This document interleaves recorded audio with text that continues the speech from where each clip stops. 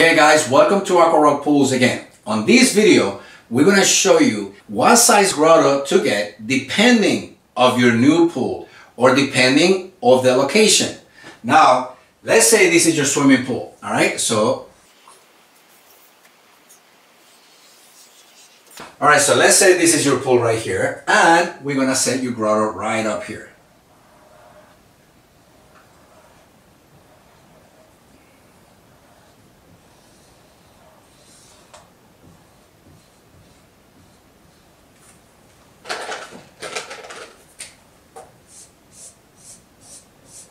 If you look at the other videos, you already know what I'm doing. This is just some water coming down, filling this big rock with water, and then all this water is spilling down into your pool. All right, so for a pool like this, you need to understand a principle, all right? That you are going to be standing inside your pool, and a pool is from, usually it goes from three foot to six foot. So right here, it could be somewhere around 5.5. Now, how do you select the size of the grotto that you want? Okay, so if you are standing inside your pool, in the three end, let's say that you measure six feet. So now what happens if you're standing right here? We're gonna cut your pool in half right? So we have the water here. And, never mind, let me do this one a little bit different.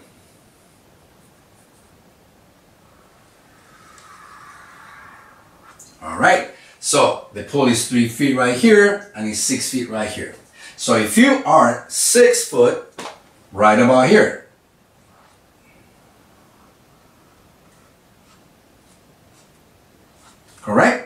So the water is going to be right about here. And then you're going to have this rest of your body here. But if you're standing at six foot, then your head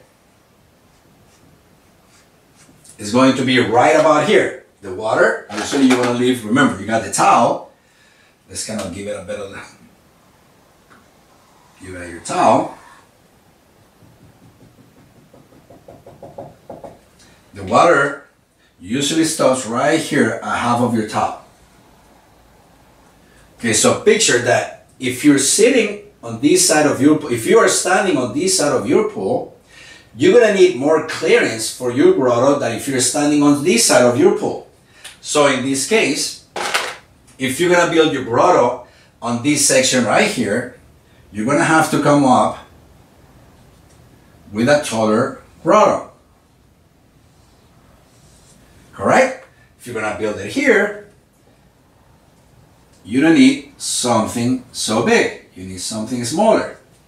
So this one right here, because keep in mind that you still have to create some formation right up here for this to look right. If you go higher, you want to kind of make this a little bit higher, but this one you can have just something like that. And we're talking about completely different sizes grotto for the same pool. So it's depending where you set your grotto, is the size of grotto that you're going to need. You don't need to buy a six foot grotto for your pool to look really nice. It all depend where you're setting your grotto. If you put it on the deep end, then your grotto could be smaller. If you put it on the shallow end, you're definitely gonna go with a much taller waterfall or grotto. Keep in mind that these grottos should be strong enough to hold people sitting right here on the top okay? For safety, you have to make sure that this is strong enough to carry people on the top. So I hope this is helping you guys. If you have any more questions, you can contact us at www.aquarockpools.com. Send us your information and we'll get back to you. Thank you again and I see you in your next video. Ciao.